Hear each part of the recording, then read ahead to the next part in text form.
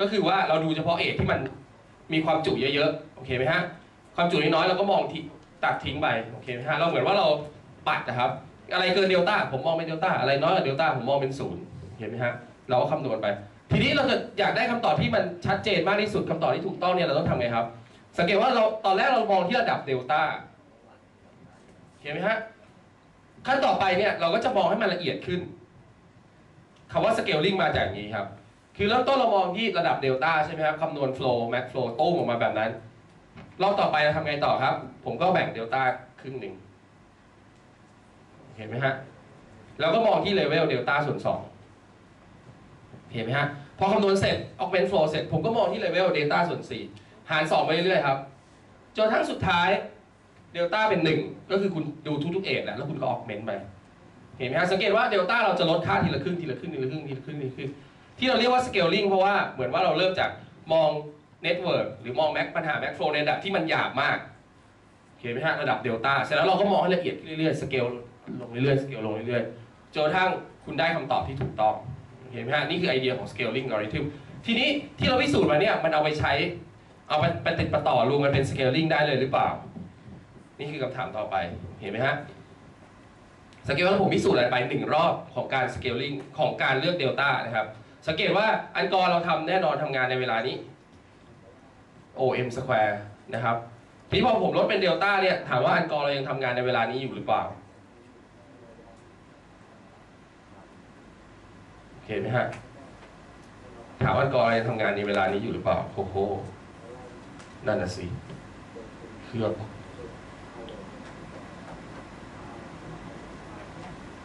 อะฝากให้คิดผมเบรกแป๊บหนึ่งเพราะว่าผมต้องไปดูเฉลยก่อน ดี๋ยวผิดนะครับ โอเคครับ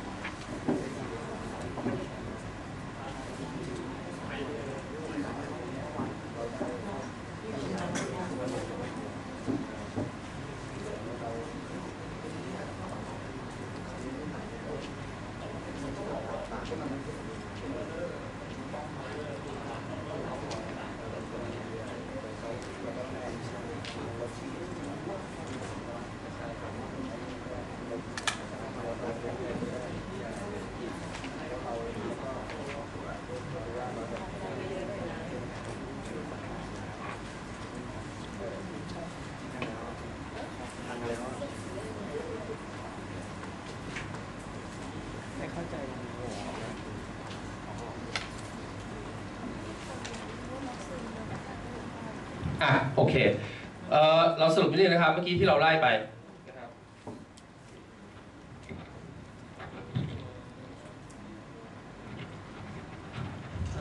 ไม่ใช่บอกว่าสี่คือไอ้นี่อะโอเคนะฮะอันแรกก็คือว่าถ้าเราเริ่ม เราเลือกอันก่อนนี้ครับจะเริ่มโดยการเลือกเดลต้านะครับ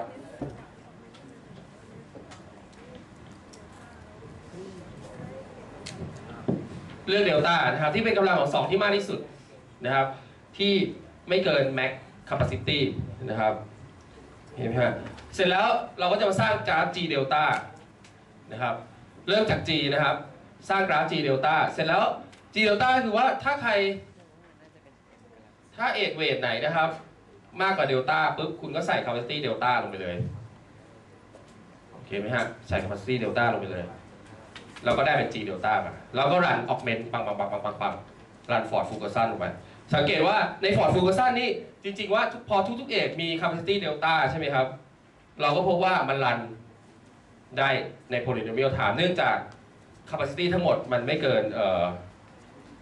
m เดลต้าแล้วคุณ augment ทีละเดลต้า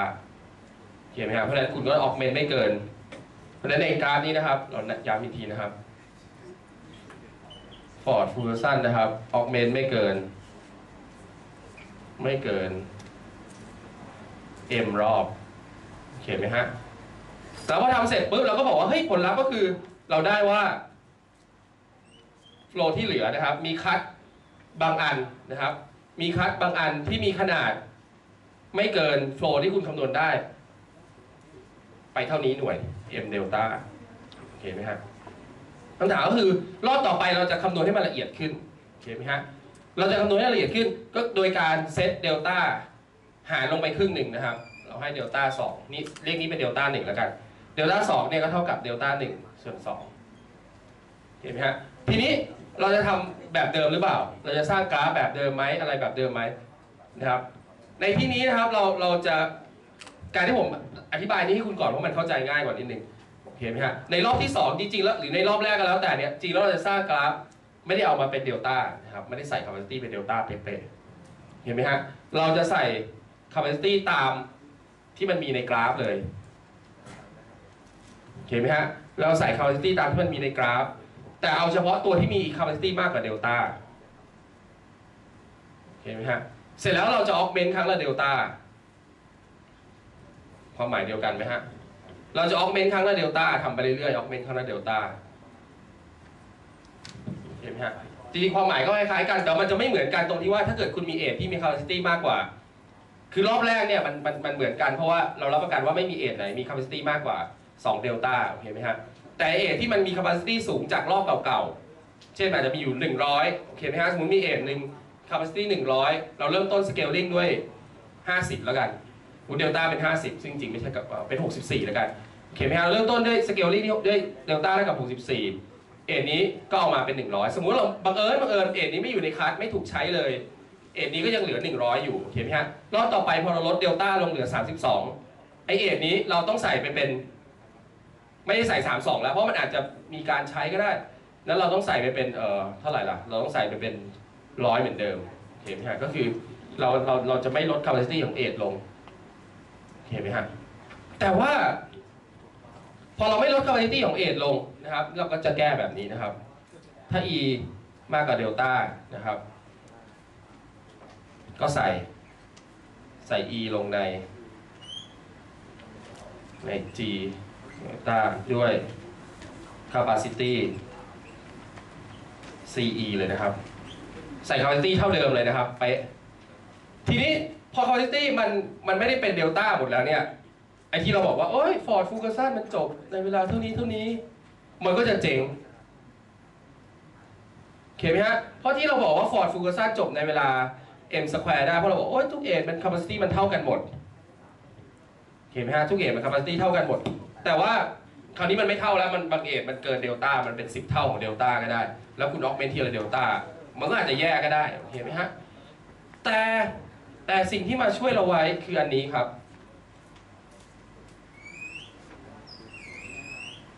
ตรงนี้ ตรงนี้เนี่ยเราบอกว่า flow จากครั้งที่แล้วเหลือไม่เกิน m เดลต้าเห็นไหมฮะ ซึ่งจริงๆแล้วก็เหมือนว่ามองเป็น m เดลต้าหนึ่งก็ได้นะครับ เหลือไม่เกิน m เดลต้าแต่ครั้งนี้พอรอบที่ 2 เรา augment ครั้งละเท่าไหร่ครับ ครั้งละเดลต้าสองโอเคไหมฮะ แต่ flow ที่เหลือจากรอบแรกไม่เกิน m เดลต้าหนึ่ง โอเคไหมฮะรอบแรก run ออกมา flow ที่เหลือเหลือไม่เกิน m เดลต้าหนึ่งแต่รอบสองคุณเรา augment ทีละเดลต้าสองโอเคไหมฮะแต่เดลต้าสองเป็นเท่าไหร่ครับ ครึ่งหนึ่งของเดลต้าหนึ่งโอเคไหมฮะเพราะฉะนั้นเรา augment ได้กี่รอบเลยแล้วเราปรับนี้เสร็จนะครับ อันนี้อันนี้ใช้ไม่ได้แล้ว เพราะว่าโทษโทษโทษทีคนถ่ายวิดีโอคุณกระโดดกระโดดหน่อยนะครับ อันนี้ใช้ไม่ได้แล้วเพราะว่ามันไม่ได้เป็นเดลต้าหมด แต่ว่าเราทราบว่านะครับในการคำนวณรอบที่ i นะครับ ในรอบที่ i เราออกเมนครั้งละครั้งละเดลต้า i โอเคไหมฮะ แต่ว่าบาวที่เราได้จากคัดเมื่อรอบที่แล้วนะครับ เรารับประกันว่าโฟลเหลือ ไม่เกิน m เดลต้า i ลบหนึ่งอันนี้เป็นเป็นบาวที่คุณได้จากครั้งที่แล้วโอเคไหมฮะ ซึ่งก็คือเท่าไหร่เอ่ยก็เหลือไม่เกิน m เดลต้า i เพราะว่าเดลต้าคุณหาร 2 ไปใช่ป่ะ เดลต้าเพราะฉะนั้นคุณออกเมนครั้งละเท่านี้ แต่โฟล์เหลือไม่เกินเท่านี้ เพราะฉะนั้นก็คือออกเมนไม่เกิน เอ้ยสองสองนั้นออกเมนนั่นคือดังนั้นก็คือออกเมนไม่เกิน 2m รอบโอเคไหมครับเพราะฉะนั้น Ford f u g a s o n นั้น FF นะครับในรอบนี้ก็รันในเวลา O m square เหมือนเดิม เพราะว่า 2m รอบก็ m square 2m รอบก็คือคูณแต่ละรอบใช้เวลา m นะครับก็เป็น m square เหมือนเดิม เพราะฉะนั้นคุณรัน scaling นะครับหนึ่งรอบใช้เวลา m square เหมือนเดิมโอเคไหมฮะเสร็จแล้วคุณก็สเกลดาวน์ลงเรื่อยๆเริ่มจากอะไรก็ไม่รู้เท่ากับ m เท่ากับอ่อกำลังสองมากที่สุดที่ไม่เกิน ce ใช่ไหมครับแล้วคุณก็ลดลงไปเรื่อยๆลดลงไปเรื่อยๆลดลงไปเรื่อยๆจนกระทั่งจนกระทั่งเป็นหนึ่งโอเคไหมฮะพอเป็นหนึ่งนี่ก็คือคุณใช้ capacity ทั้งหมดของกราฟแล้ว พอคำนวณ Ford f u g a s o n เสร็จ คุณก็ได้ max flow มาโอเคไหมฮะคำถามผมก็คือว่า แล้วเราต้องสเกลทั้งหมดกี่รอบ แต่รอบใช้เวลา m square เราพิสูจน์ไปแล้วนะครับ ถามว่าคุณต้องสเกลกี่รอบมันถึงจะเหลือหนึ่งเห็นไหมฮะเริ่มต้นเราเริ่มอัลฟาเอ่อเดลต้าเป็นไม่เกิน max CE ใช่ไหมครับมากสุดที่ไม่เกิน max CE เพราะฉะนั้น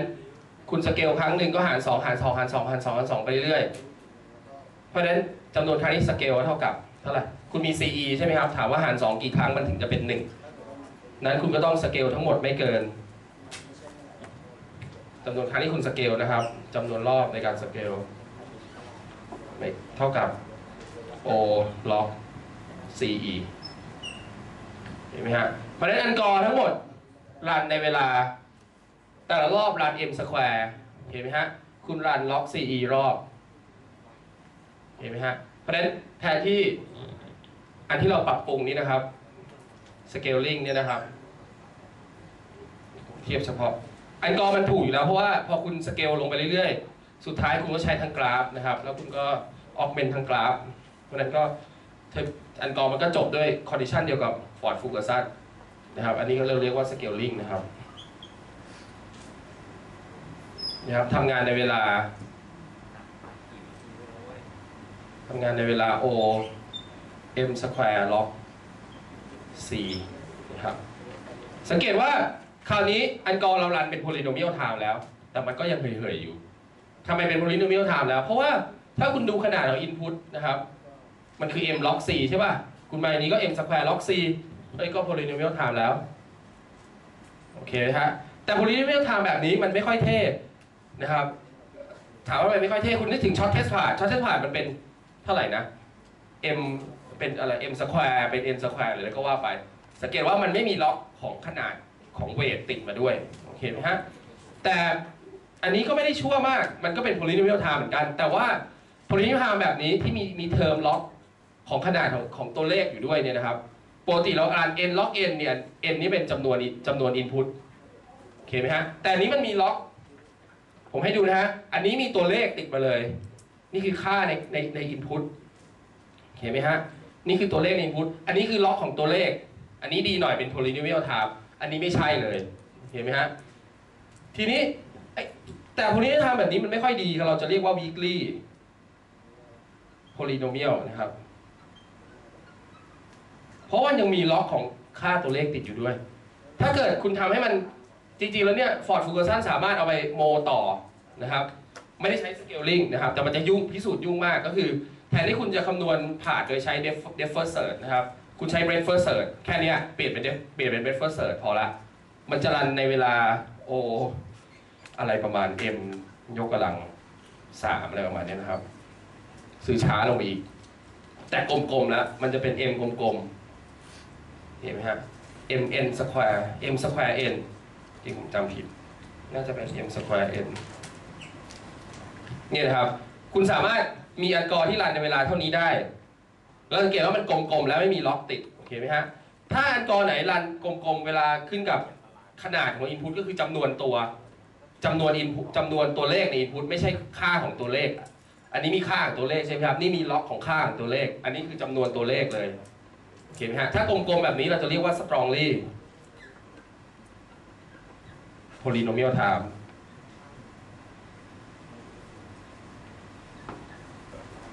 ซึ่งจะเป็นบาวที่แข็งแกร่งที่สุด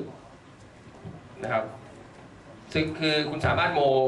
ฟอร์ดฟูกัสซันเป็นนี้ได้ ทีนี้แม c โ r รมันเป็นปัญหาสำคัญมาก เพราะนั้นก็มีคนทำต่อไปอีก ก็มีคนทำให้เหลือเป็น m n square เหลืออย่างนี้ แล้วก็มีคนทำต่อไปอีก เป็นเหลือเป็น m n log อะไรสักอย่าง log อะไรสักอย่างกระดาษอะไรอย่างเงี้ยนะครับ